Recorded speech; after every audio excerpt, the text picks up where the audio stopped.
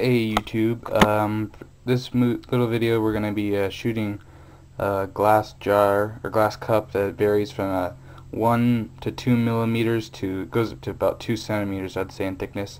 Um, we're going to be using a Israel Military Incorporation Desert Eagle.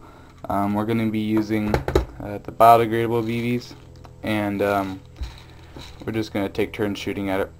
Um, it says about 50 FPS on the box for this, but I think it's more along the lines of 150 or like 250.